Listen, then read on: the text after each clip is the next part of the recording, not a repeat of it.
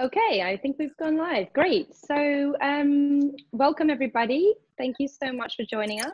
Um, we're just going to take a few minutes to just uh, wait for everybody to, to come into the room, um, and then we'll kick off another session of, of, Provenance Live. So while we wait for everybody, please do um, all come in and introduce yourselves and where you're from in the chat. Um, and also, we've got a bit of a que question, crazy question for you today which is uh, if you could let us know something you've done in lockdown that surprised you the most. Um, we would love to love to hear your tales, and then we'll we'll be getting started in a couple of minutes.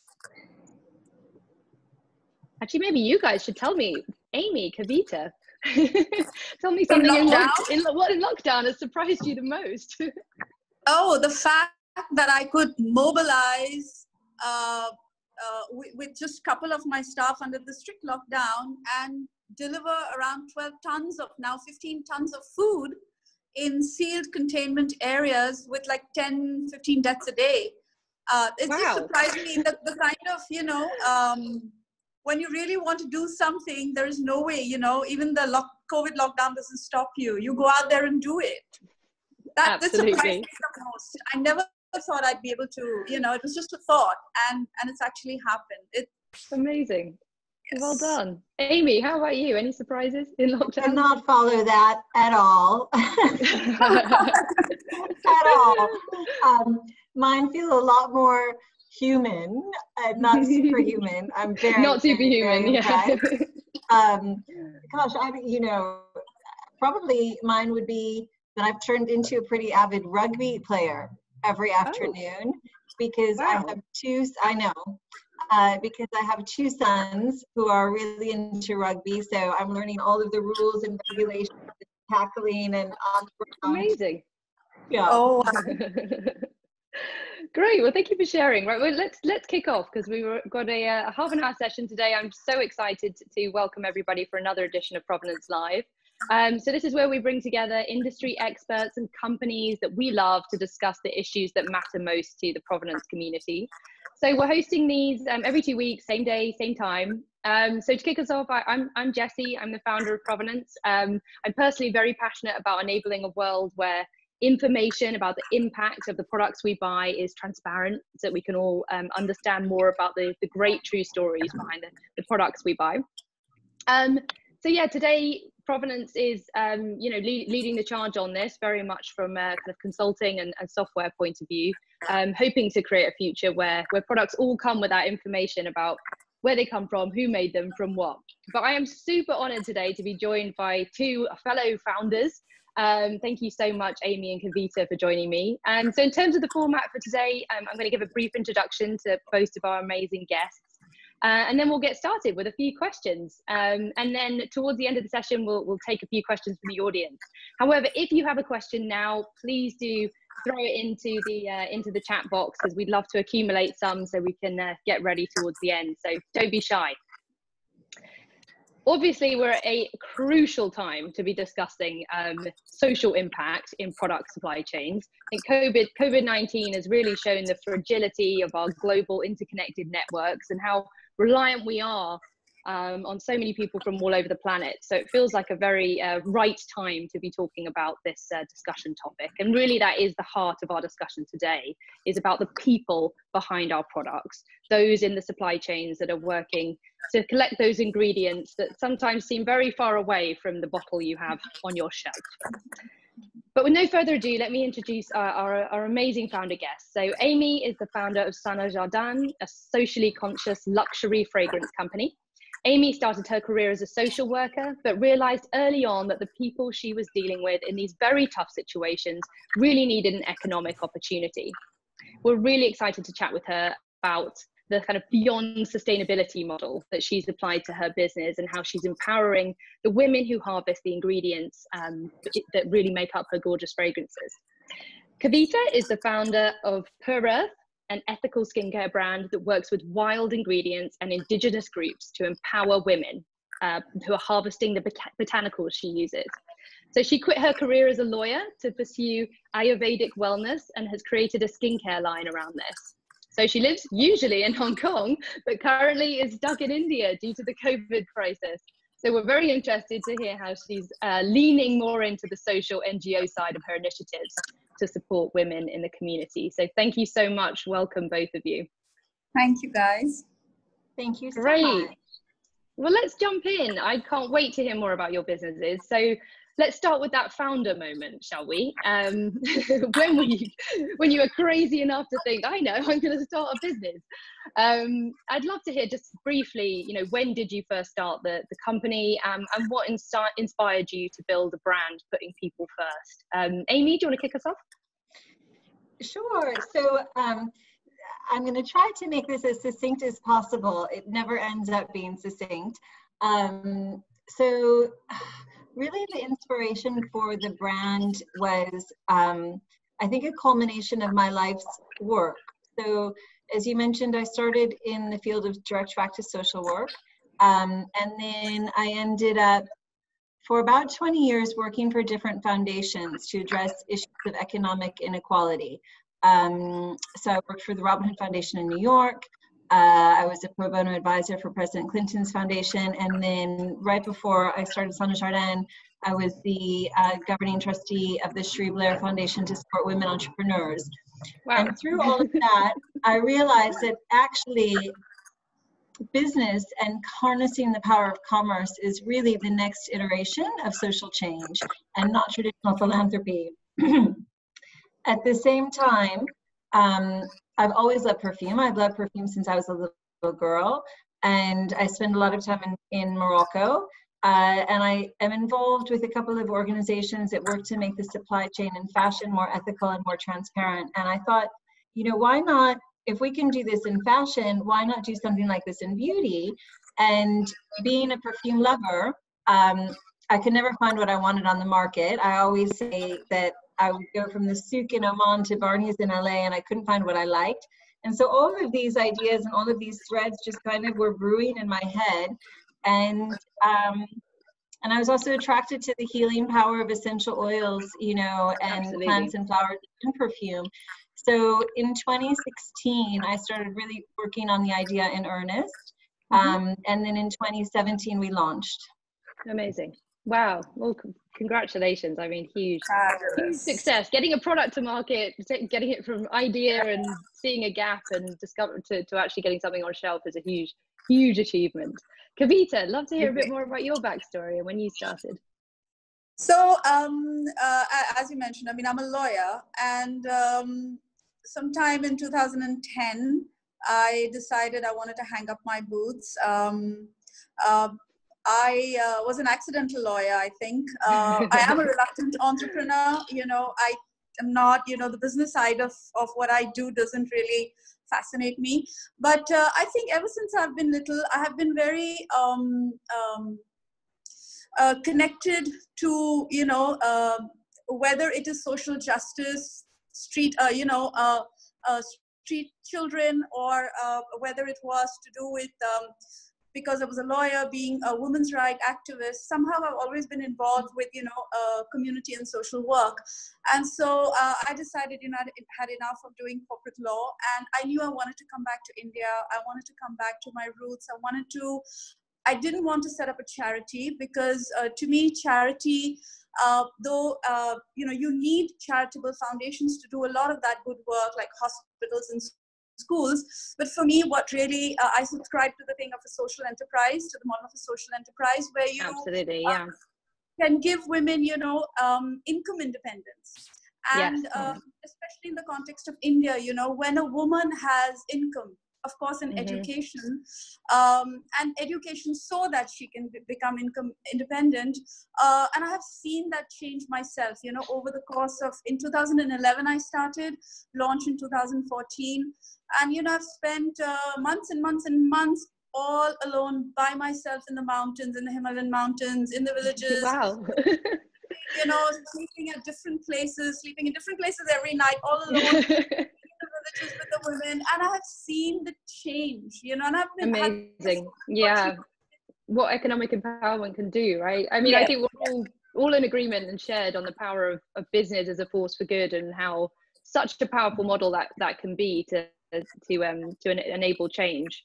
Um, fantastic. Thank you so much for sharing your kind of your founding stories. Um, I'm conscious we've, we've got often quite get quite a few um, kind of early stage companies or even aspiring founders join these calls. And I just wondered if, um, I guess thinking back to those, those moments when you first started, like if you were a brand, you know, a brand that either exists now or thinking about building a brand that wants to go kind of, I guess, over and above what today is sadly the norm, which is to not really act proactively support um, workers deep in your supply chain that you're often, you know, disconnected from as a um, as, a, as an end brand um, yeah, if you wanted to, to essentially bring social impact into your brand and, and help support kind of the, those workers and the wider community, like how, how would you go about getting started? Like, how do you kick that off?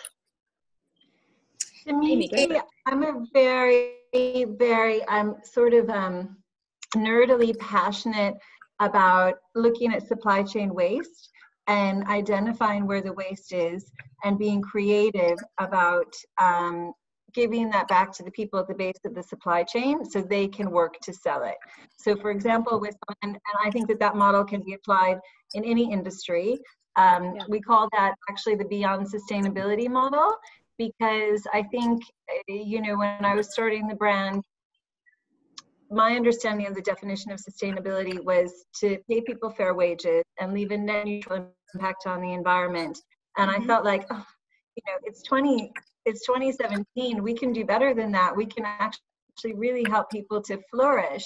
Yeah. and so in terms of what we do um, we take the waste product from perfume production we upcycle that waste and then we give that to the women so that they can sell it and we've trained them to be their own micro entrepreneurs. And i can go into the details of that later on this call. But in general if i was starting if i was starting a brand right now mm-hmm. um, I would very much focus on on upcycling waste.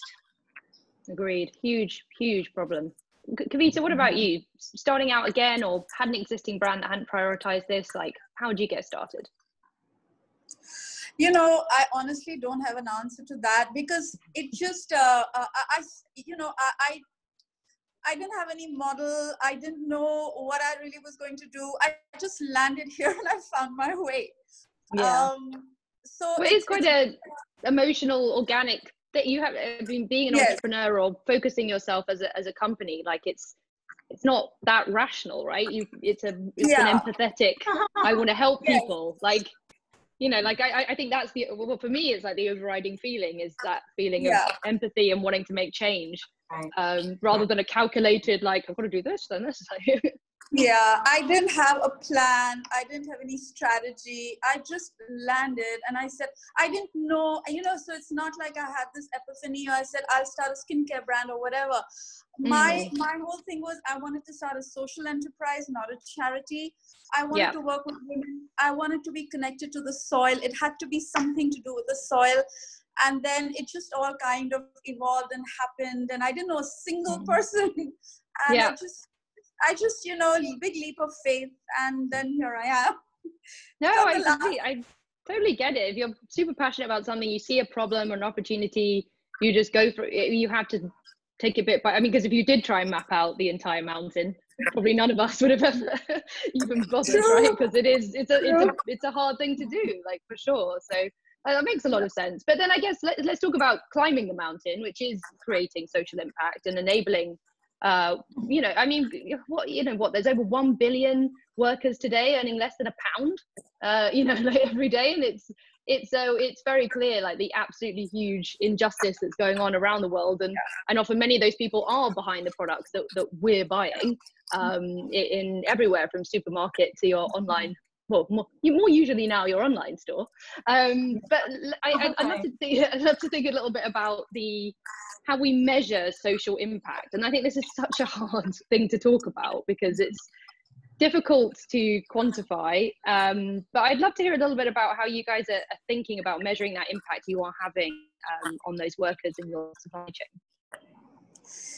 so I, I mean so for me uh, like i said you know i have no uh, strategies and plans or anything like that. It's very organic and i don't have investors. I'm self-funded so i'm no one to report to. I do what i please and how i please. And i'm led by, and i'm led by the people on the planet and not by profit. Um, in fact i routinely reject investors because um, you know i'm not driven by shareholder value.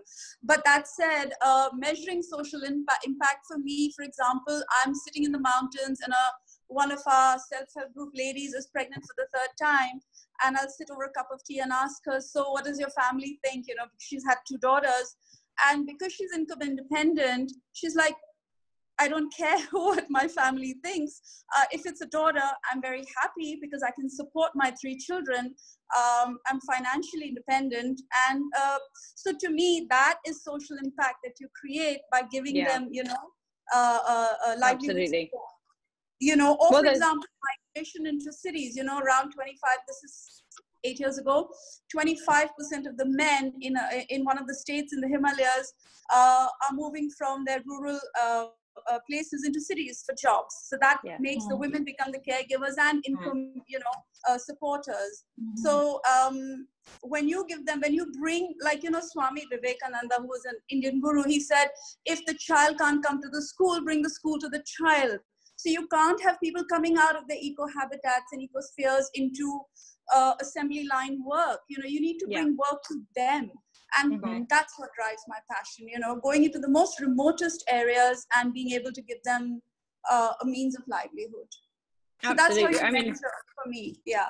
Yeah no i really i completely agree with you. It's yeah empowering those in their own communities. And i think there's also a lot of uh, great research on you know the, the, the proven social impact of empowering women particularly in remote, remote communities and what that can can do for growing education empowering further women etc um, I think the statistic, I think it's something like for when women earn money, they give 90% back to their families and their communities in low income, um, you know, rural rural communities in developing countries. And i think it's 50% that men that men give back. So i think you know i'm sure we're all in agreement. Yeah that um, empowering women economically is such a such a essential tool for change um, and I agree with what you're saying very much to Jessi about empathy and, you know, sort of a, creating something from a place of empathy and um, and understanding that we are all the same. And um, Kavita, I'm sure you feel the same way. Where if we have an opportunity to be of service, it's it's you know we feel bound yes. to take advantage of, of of those gifts and those tools that we use to be of service. Um, so in terms of measuring social impact, for Sana Jardin, um, so we meet four of the United Nations Sustainable Development Goals. Mm-hmm. Um, we started when we first launched our program, and I, I, think maybe now is a good opportunity to talk specifically about what Sana Jardin, the Beyond Sustainability model that we do. So, on yeah. one hand, uh, you know, we are a luxury perfume company, and we're sold. Our perfumes are sold in uh, many of them are closed right now, but about 100 retailers around the world, um, like Net-a-Porter and Harrods. So we're just like any perfume on the market. Um, but what we do that's different is the women in Morocco, when they are harvesting the flowers, so they only have access to seasonal work. They live in a rural community. They don't have any job skills. They have not been educated. And so they only have access to work during the harvest season, so that's about two times a year. Mm-hmm. So what we do is, so they harvest the orange blossom, they harvest the rose, they harvest the jasmine. That goes into a distillation machine, and the mm-hmm. output of that is essential oil that a perfume company like ours buys. But then there's two other outputs that are waste products. So one is orange blossom water, and then the other one is scented candle wax. And so uh, we came in a few years back with Nest, a New York based nonprofit. And uh, we were on the ground with them, training them how to make these candles, market them, price them, train them in financial literacy, sales, give them access to the distribution channels, and then also the same for the orange blossom water. So, yeah. so you know, they, they, their income has gone up, uh, obviously, because now they're their own micro entrepreneurs. We are now starting to dive deeper into that and start to you know really develop a list of kpis that they can some of them are you know uh, we have someone on the ground a former peace corps volunteer who manages the the women's cooperative and so she's at the moment now actually working with them to develop the kpis you know their increase in confidence increase um, to really quantify, you know, their increase in earned income over the Mhm. year. Yeah, I was, I was going to say, like, can you? I'm just wondering. So, you know, our typical. Many of us might have bought a perfume from one of those big, big name brands. Um, what, what's the what, what's the what's the real difference there? Are they? Is there a lot of exploitation going on in those supply chains, or, or kind of horrendously low wages being paid, um, or what's you know? Do you- do you know kind of like any of the sort of difference in in wage potential between workers in your typical your Gucci perfume? Well, so so uh, we source so we so we work through a company called called IFF International Fragrance and Flavors, hmm um, which is which is a huge company, a hundred and some years old, um, and it's known to be to source sustainably. So you know, for for so all of our ingredients are sourced in a sustainable way according to Mhm. IFF standards. Yeah. Um, and then in Morocco, they meet, you know, they do meet, they're paid fair wages. Uh, Yep. The supplier, Les Arômes de Maroc. Mm-hmm. Um, and that supplier, you know, they supply to the Gucci perfume, supply to everyone around the world. Uh, the problem is just that they really have access only to seasonal work. Got it. Mm. Got it. Yeah, it's tricky. Mm-hmm. I mean, so we're, we're just going to qu- quickly switch over to um, get a bit of interaction from the uh, from the audience that we're all dialed in here, which we're going to release a, uh, a poll because we'd love to hear a little bit more about what you think when it comes to uh, beauty. Kind of what what sort of social impact are you most concerned about? I guess, like you know, if if you were if you would think about the sort of negativities potentially behind beauty supply chains, like what what would most concern you um, as a shopper? Um, so that, that should be popping up on your screen now so we can get a bit more feedback from you guys um, as to what, what matters to you. Oh, Um, but then, for me. what's that? Wages. Yeah, agreed. That's def- definitely a, a big one, isn't it? Well, let's let's have a, a chat and see see what the, uh, the the group says. So then, what about what about um, something's very dear to my heart? What about communicating uh, the impact you're having, you know, versus uh, other brands in the space, or or how are you, how are you finding that? Are you are you seeing that? Um, I mean, you guys have always done a great job sharing your stories already and and showing the initiatives um, behind your brands. Like, how, how's that process been? And are you thinking? Are you seeing a trend in the beauty industry for for more kind of initiatives like this and, and openness about supply chains? Oh yes, definitely. Um, you know, and, and, and you know, like organizations like platforms like Provenance, uh, raising that awareness, you know, uh, um, and upping upping the uh, raising the bar. Uh, But yes, you know, Yeah. right from clients who come forth and ask these questions to stockists who ask questions, uh, to there's an overall. I think in the last what it's just been what five seven years. There's been a paradigm shift. Yeah. And I agree and, with you. Yeah and honestly and i see green beauty green you know clean beauty becoming mainstream uh I- i think it's uh it's just the way forward yeah Agree. I think to uh, speak to that a little bit further, because there were two questions in there. Really, one was about communicating um, and messaging. And Kavita, you know, I'm interested in hearing your thoughts on that as well, because this is something that, in all honesty, I would say, Sana Jardin, we really struggle with because trying to communicate um, that we're a socially conscious brand, that we have a unique model, um, you know, the Beyond Sustainability model, and that it's also luxury. You know that fusion how do you communicate that on social media and yeah. uh, on the shelf you know in a store? I think yeah. getting better at it but it's it's really been a- it's been a challenge because um it, it because it's two different stories and uh, visually they're two different stories. So Mm, that that has been hard um but we're we're working on that. And i think also as you said kavita this paradigm shift that is that's occurring that you know is palpable.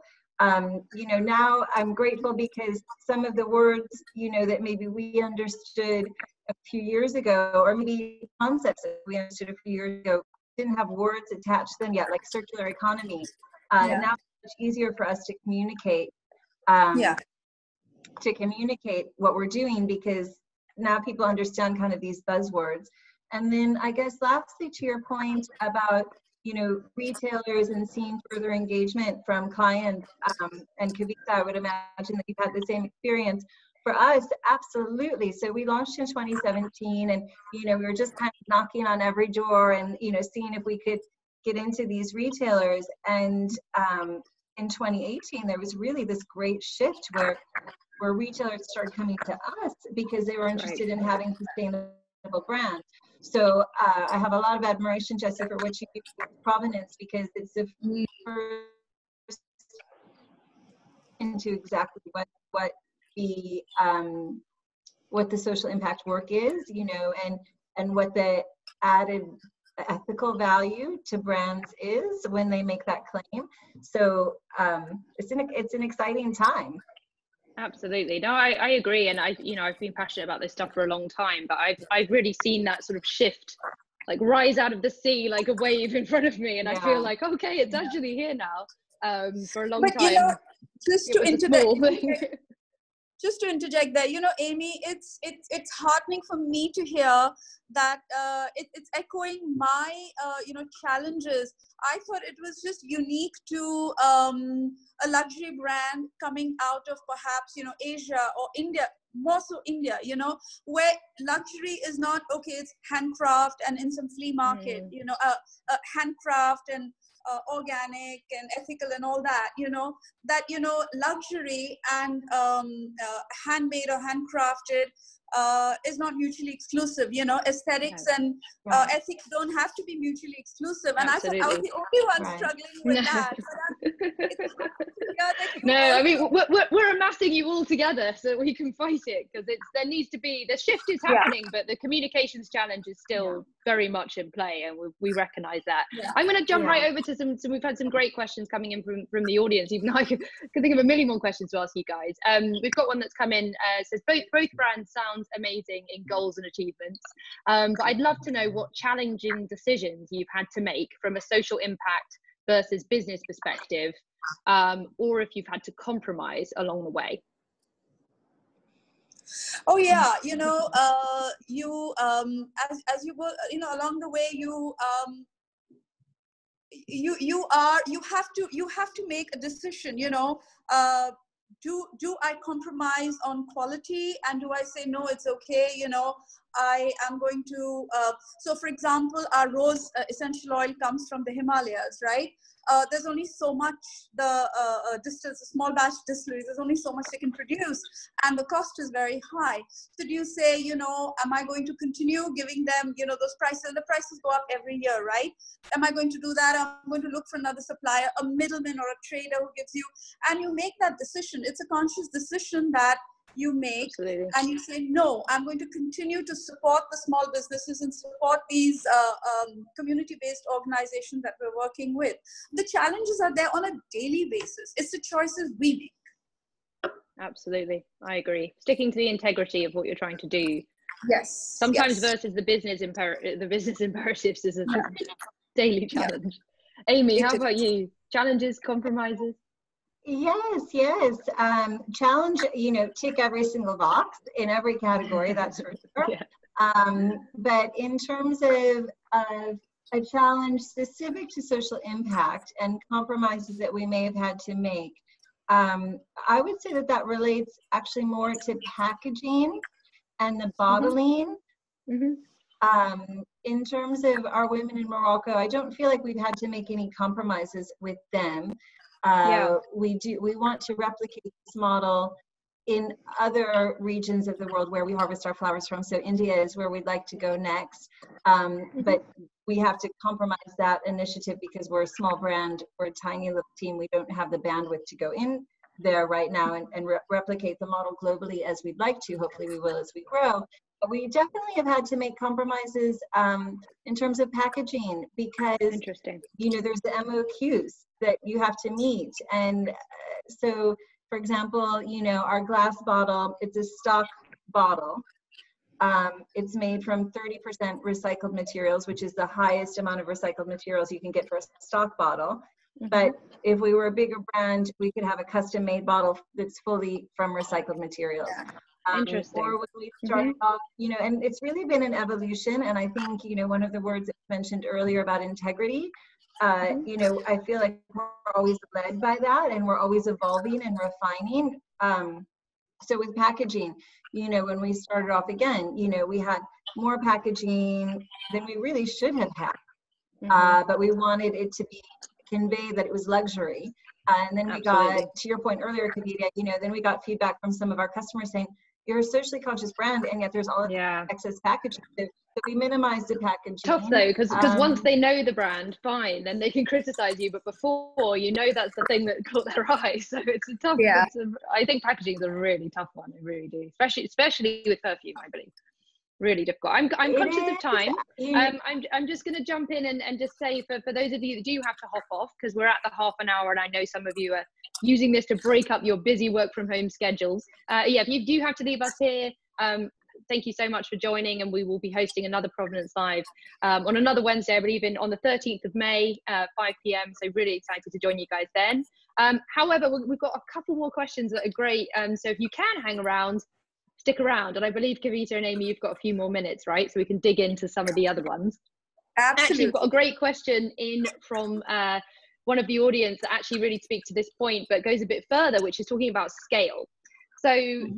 so I'll, just read out this question here. So it says, "Hello, uh, thanks for this opportunity for the conversation. Um, do you think sustainable and ethical business models, such as the ones you've both started, are scalable to become big market leaders and compete with the big brands, um, or or what are the main challenges that you see to growth? Yeah, I'll I'll go first on that. Backward integration, because uh, mm-hmm. uh, you know, and I'm always asked this question. Oh, you know, uh, you're handcrafted. How will you scale up? You know, it's not a scalable business. And for the for the first four years, I was like, mm, yeah, that's right. You know, mm. but no, now I have a completely different perspective on it having done this you know having uh, uh, like living breathing eating sleeping everything pure earth you know 24 7 I have a mm-hmm. different answer to this now. India, and I'm speaking in the context of my brand in India, India is largely an agrarian economy even today. And most of the world, when it comes to ingredients, comes to India. Yeah. So when it comes to scalability, I believe it is absolutely possible, and I say it with such conviction, having spent this time doing doing you know what I do, that yes, you know it is possible to be scalable and go mainstream with uh, not just my brand but all brands. Like even with Sana Jardin, you know, you can get scalable. Uh, the challenges are being able to and like earlier i was saying you know with argan oil for example or you know uh, what what is happening in morocco is it's wonderful the way they have organized it but if we are able to organize in these remote areas and work with mm-hmm. farmers and producer groups in a way where uh, you know you give them microcredit financing for instance so that they are um, uh, they have income security uh, come harvest season and then they can go in into the forest. So, like we work with the forestry department, and the indigenous tribes have recorded rights to pick non-timber forest produce. So these mm-hmm. women say we can do more. Please, you know, we can do more. You can pick more, and we make sure that it's sustainable while harvesting. We don't pluck from the roots. You know, it's the berries and the so there is scalability like how but you know you need governmental support you need yes. uh, it, it, yeah, it, it takes a village. It takes more than and the market to shift to support this, right? Because you know you, you do need the business model to support this, and I, I agree. I, I think the wave the wave of the market is coming, but you do need the mass market to shift in order to to make a business model like this work as well. I think, uh, or just be less greedy on profits. I guess that's the other thing. the other method.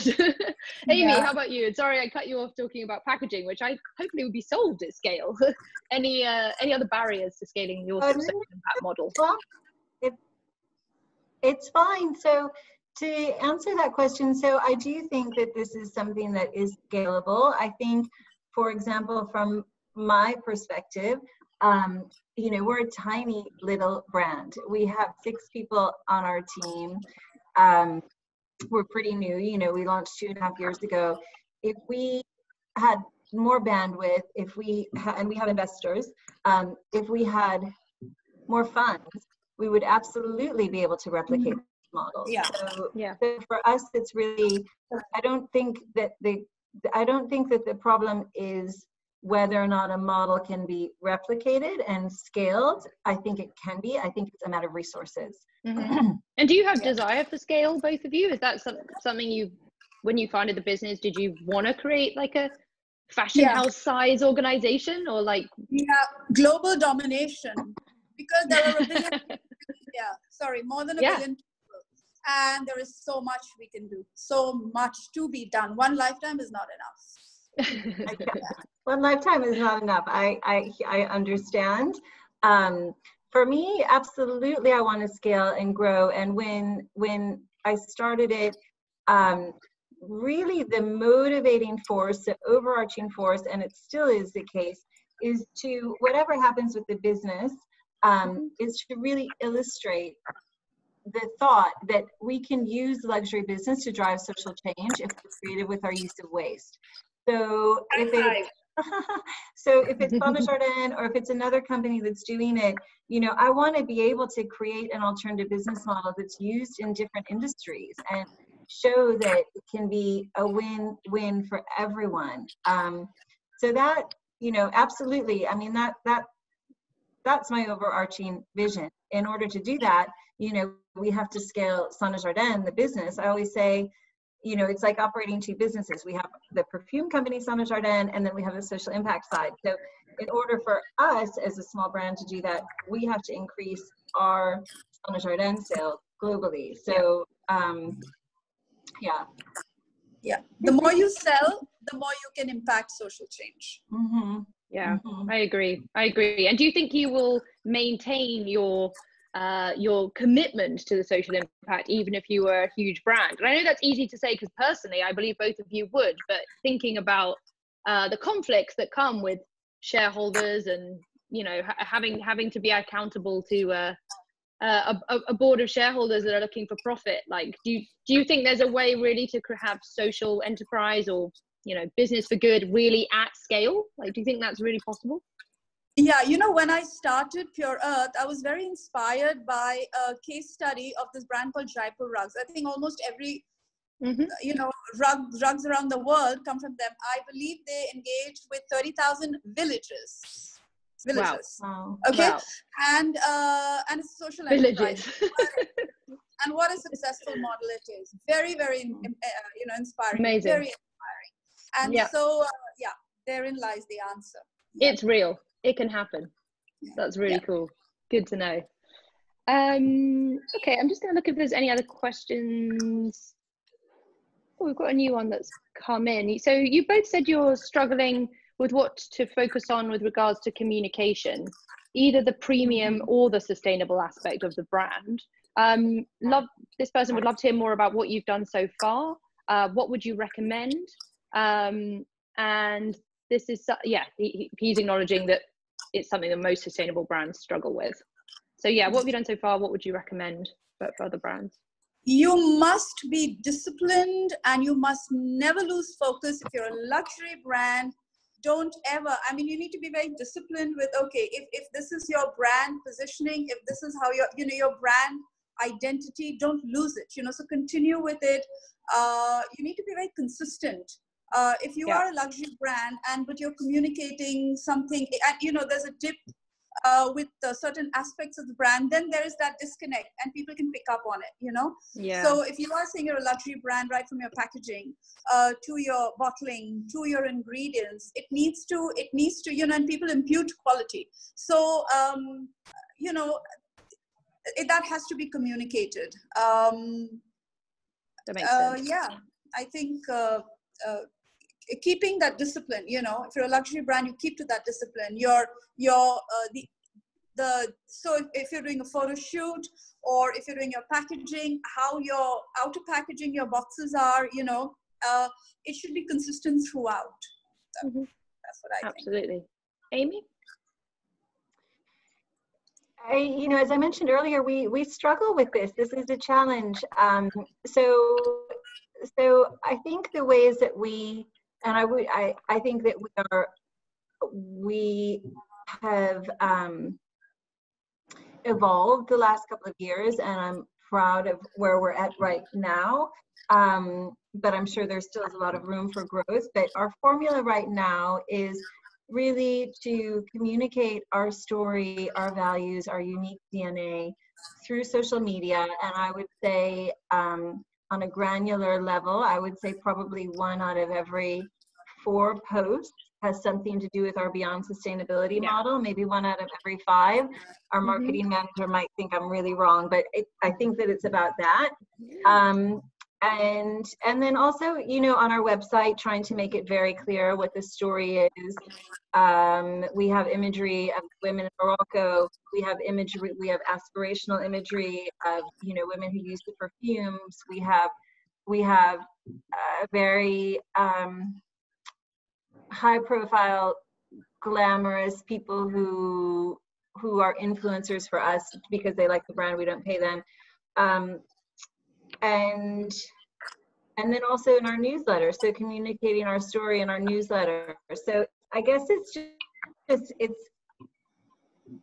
it's the tempo and the frequency of what we communicate how mm-hmm. much we communicate that. so i would say the balance is probably 70 30 you know mm-hmm. 70 product yeah, related yeah.